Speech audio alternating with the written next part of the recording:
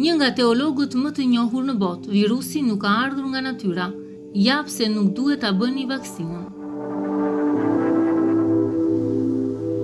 Imran Hosein është një nga teologët më të njohur në botë për eskatologjinë islame. Ai është i bindur se Covid-19 nuk ka origjinë natyrore. Imran Hosein deklaroi se nisur nga ky përfundim, edhe vaksina duhet refuzuar.